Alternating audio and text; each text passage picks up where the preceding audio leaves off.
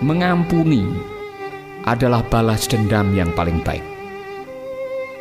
Kalau kejahatan dibalas dengan kejahatan, itu sudah normal. Sedangkan kebaikan dibalas dengan kejahatan memang sering terjadi. Tetapi membalas kejahatan dengan kasih sayang itu merupakan yang terbaik untuk mengalahkan kejahatan.